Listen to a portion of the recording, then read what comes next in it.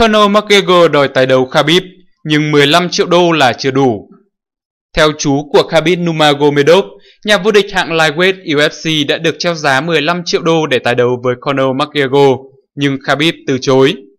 Hồi đầu tháng này, Conor McGregor đã bị nhà đương kim vô địch Dankes Khabib Nurmagomedov đánh bại một cách toàn diện tại UFC 229. Trong hai hiệp đầu, Notorious hoàn toàn bị áp chế.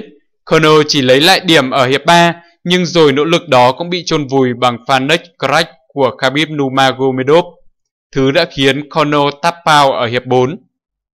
Sau trận đấu, Conor McGregor đã lập tức bày tỏ ý định tái đấu với Khabib để lấy lại danh dự.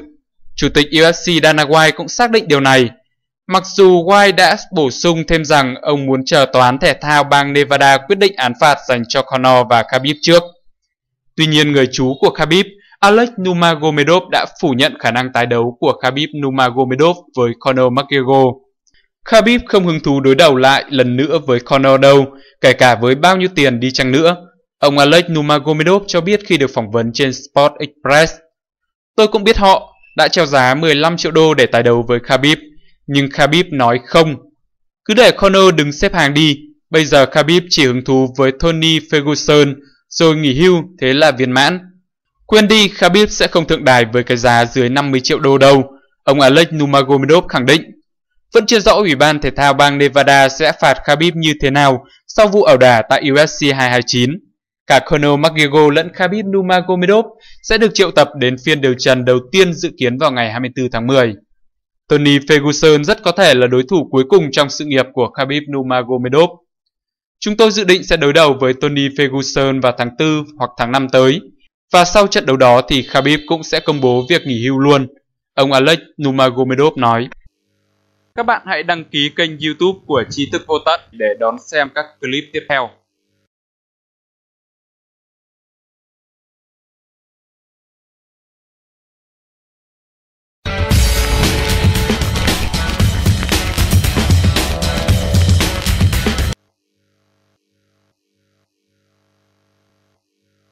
Khabib Nurmagomedov trở về quê như anh hùng sau khi hạ gục McGregor.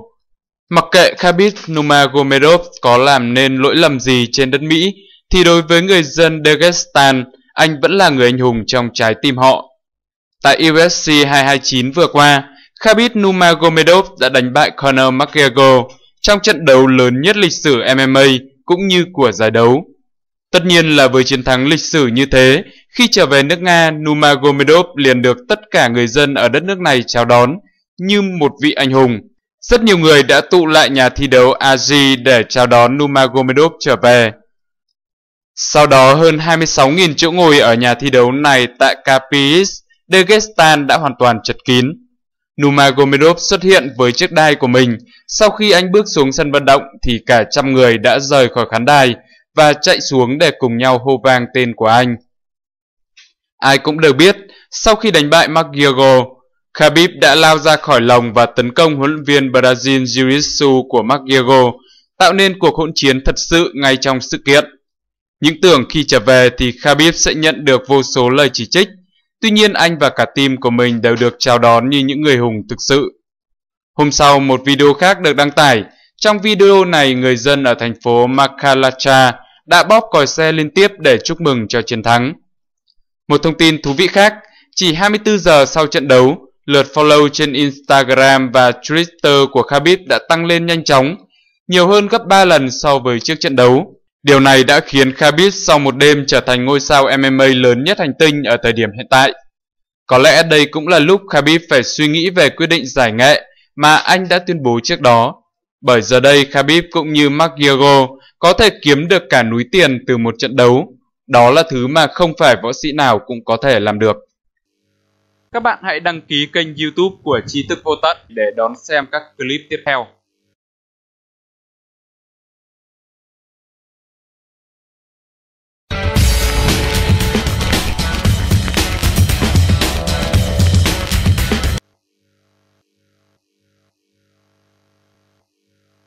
Khabib Nurmagomedov to gan thách đấu độc cô của bại Floyd Mayweather. Nhà vô địch hạng nhẹ UFC Khabib Nurmagomedov đã bất ngờ lên tiếng thách đấu vua quyền Anh Floyd Mayweather. Hôm 7 tháng 10 vừa qua, Khabib Nurmagomedov đã hạ knock out Conor McGregor trong trận bảo vệ đai vô địch võ tự do hạng nhẹ ở UFC 229. Chiến thắng này giúp võ sĩ người Nga duy trì thành tích bất bại ở MMA, toàn thắng 27 trận trong sự nghiệp. Tuy nhiên, mối lương duyên của Khabib với UFC đang có nguy cơ kết thúc vì vụ ẩu đả giữa võ sĩ này và đội của McGregor trong trận đấu tại Las Vegas. Hiện tại, võ sĩ 30 tuổi này vẫn chưa nhận được tiền thưởng từ UFC và Ủy ban Thể thao Nevada cấm thi đấu cho đến khi vụ việc được điều tra làm rõ. Trong bối cảnh đó, Khabib đã nhận được rất nhiều lời đề nghị hấp dẫn từ các đối thủ của UFC, bao gồm cả đề nghị chuyển sang thi đấu ở WWE, đấu vật biểu diễn ở Mỹ. Trong diễn biến mới nhất, Khabib đã khiến giới hâm mộ phát sốt khi đưa ra lời thách đấu với vua quyền Anh Floyd Mayweather. Mayweather năm nay 41 tuổi, từng vô địch quyền Anh thế giới ở năm hạng cân khác nhau và giữ thành tích vô đối suốt sự nghiệp. Võ sĩ này toàn thắng 50 trận đấu, trong đó có 27 trận thắng bằng knockout. Năm ngoái Mayweather cũng nhận lời thách đấu của McGregor và đánh bại võ sĩ người Ireland bằng điểm số. Trên trang cá nhân, Khabib tuyên bố, lên đài nào Floyd, chúng ta phải quyết đấu ngay bây giờ, 50-0 và 27-0. Hai kẻ bất bại quyết đấu với nhau, tại sao không? Thế giới này chỉ có một vị vua mà thôi, Floyd. Tất nhiên tôi đang là vua, bởi lẽ tôi đã hạ knockout McGregor dễ dàng, trong khi anh thì không. Hiện tại Mayweather vẫn chưa đáp lại lời thách đấu của Khabib. Võ sĩ 41 tuổi này không tượng đài kể từ trận đấu với McGregor hồi năm ngoái. Nhưng anh hứa hẹn sẽ trở lại để tái đấu với đối thủ nhiều duyên nợ Manny Pacquiao trong thời gian sắp tới. Các bạn hãy đăng ký kênh youtube của Tri Thức Vô Tận để đón xem các clip tiếp theo.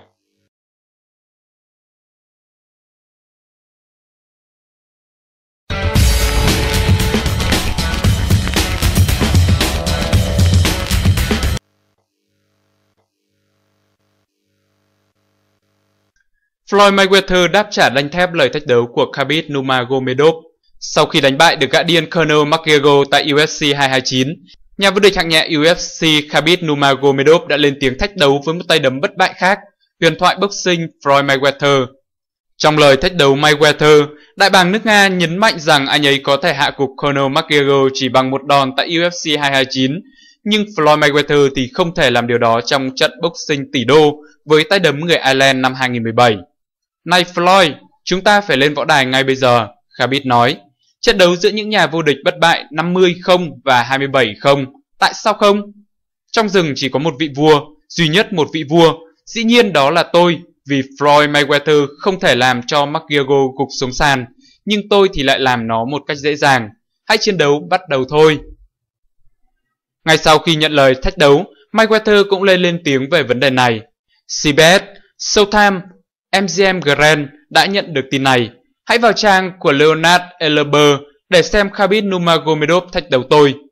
Floyd Mayweather hiện đang giữ kỷ lục bất bại trong môn boxing chuyên nghiệp với 50 trận toàn thắng với chiến thắng thứ 50 là đánh bại McGregor. Mặc dù Floyd đã tuyên bố nghỉ hưu sau trận đấu tỷ đô với McGregor, nhưng từ lúc đó ông vẫn muốn bóng gió về một trận tài đấu với gã điên hoặc với một đối thủ được xem là quan trọng bậc nhất trong sự nghiệp của ông, tay đấm Manny Pacquiao. Và với chiến thắng gần đây nhất trước McGregor, thì Khabib đã nâng thành tích của mình lên 27 trận trận bất bại trong MMA. Đây cũng là một kỷ lục ấn tượng vào thời điểm hiện tại. Trước lời thách đấu đầy ngạo mạn của Khabib, liệu rằng Floyd có tái xuất sàn đấu hay không? Và người mộ có thể thấy Khabib Nurmagomedov và Floyd Mayweather chạm trán trên võ đài hay không? Đó vẫn là những câu hỏi chưa có câu trả lời. Các bạn hãy đăng ký kênh youtube của Trí thức vô tận để đón xem các clip tiếp theo.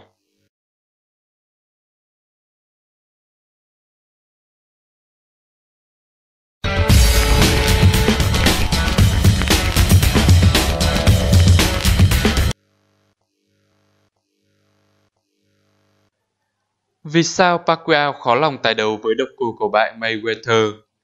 Gần đây, Manny Pacquiao đã lên tiếng thách thức Floyd Mayweather trở lại boxing và tài đấu. Tuy nhiên việc này rất khó có khả năng diễn ra. Cũng đã hơn 3 năm sau trận đấu thế kỷ của Manny Pacquiao và Floyd Mayweather. Tuy được gọi là trận đấu thế kỷ, thế nhưng diễn biến của nó lại không đáp ứng được kỳ vọng của khán giả, bởi trận đấu phải mất một thời gian dài để chuẩn bị, khiến cho phong độ của cả hai không còn ở giai đoạn đỉnh cao. Dạo gần đây khi được hỏi về trận tài đấu với Floyd Mayweather, Pacquiao cho biết anh sẽ đồng ý ngay nếu có thể. Mayweather, nếu anh ấy có ý định trở lại với boxing thì đó sẽ là thời điểm mà chúng tôi bàn bạc về một trận đấu nữa. Tôi đang giữ đai, cũng tùy vào anh ấy thôi. Nếu anh ấy trở lại boxing thì cùng nhau làm thêm một trận đấu nữa nào. Thứ nhất, Pacquiao không thật sự có chiếc đai. Anh ấy không có quyền quyết định sẽ bảo vệ đai trước bất kỳ ai. Ở hạng welterweight, Pacquiao đang giữ danh hiệu WBA Regular Champion. Kestuman là Super World Champion và rồi còn Aaron Spence, Terence Crawford WBO và còn cả chiếc đai WBC vẫn đang chống chủ. Một vài năm gần đây, WBA, Hiệp hội Boxing Thế giới đã đưa ra luật mới. Nếu nhà vô địch WBA một lúc giữ cả đai WBA và ít nhất một chiếc đai khác như WBC, IBF hay WBO, thì sẽ được gọi là Super Champion. Hai võ sĩ top đầu của hạng cân sẽ thi đấu cho chiếc đai Jaguar và phải coi chiếc đai này là Super Champion. Ngoài ra còn phải bận bảo vệ những chiếc đai khác.